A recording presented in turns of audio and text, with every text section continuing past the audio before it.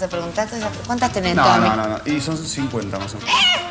¿Listo? Fíjense el flequillo. Estoy, se me abrió otra vez. Estás divina. Ay, Tomito, viniendo de vos, quedo más tranquilo.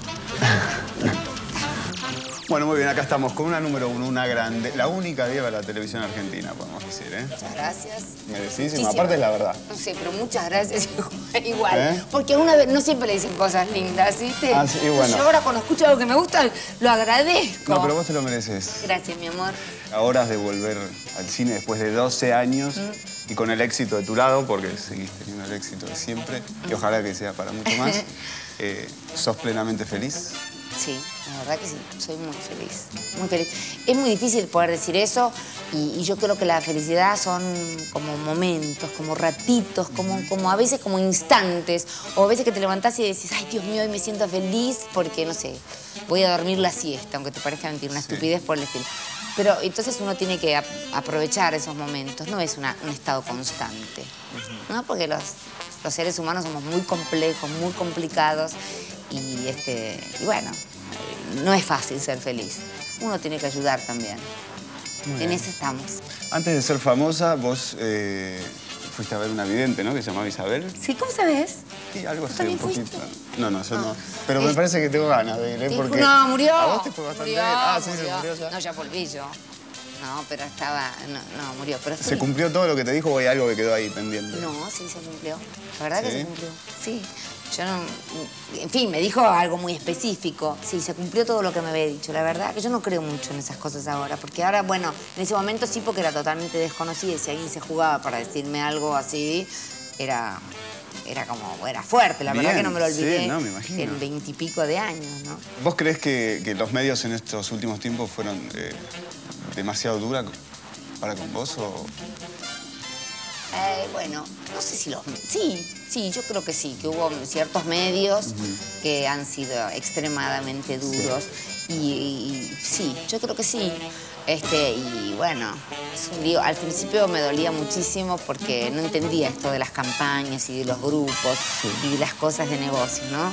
Yo- uno siempre estaba acostumbrado a trabajar para eh, Romay o para García o para Sí. Guarmestre o para... Bueno, entonces todo esto de los grupos uno no, no lo entiende mucho, ¿no? Yo no, no, no, soy totalmente pacifista y soy una persona muy educada que, que nunca me gusta hacer sufrir a los demás, así que me cuesta entender ese tipo de cosas, me cuesta digerirlas, pero bueno, como a- me, me acostumbro, como a todo en la vida uno se acostumbra, ¿no? Tenés que hacerte como de- muy fuerte.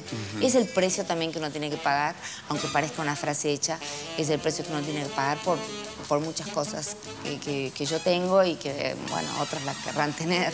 Bueno, contame, después de muchos años volvés al cine. Contame Sí. cómo estás viviendo esta vuelta. Con ¿Qué unos nervios espantosos te digo porque no me han dejado ver la película. No es que no me la hayan dejado ver, me dijeron no, no vayas porque todo el mundo sabe que yo soy perfeccionista y un poco rompequinotos. Entonces no quieren que la, que la, que la vaya a ver ¿Eso es porque lo que pero vos la querés ver? no, yo dije, es verdad, la tengo que ver con la adrenalina de la gente en una sala llena, el día del estreno, con mil personas. Queremos que la vea con público en la van premier. Y resulta que en España sí la vieron los productores. Hemos tenido un feeling, una experiencia de la película a tantos kilómetros de distancia que nos permiten ser optimistas con respecto a lo que va a ser el estreno de la película en España y en toda Latinoamérica. En cualquier momento me las hago, ¿eh?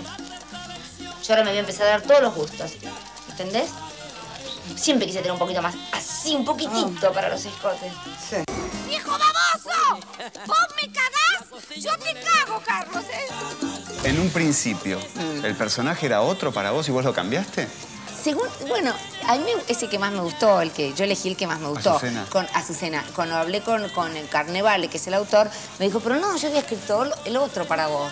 Le dije, bueno, pero yo hago Azucena, porque me gustó más. No me cuentes nada, ya lo sé. Has vuelto con el gilipollas de tu madre. ¡Ay, marido! ¡Qué palabra! Todo lo contrario.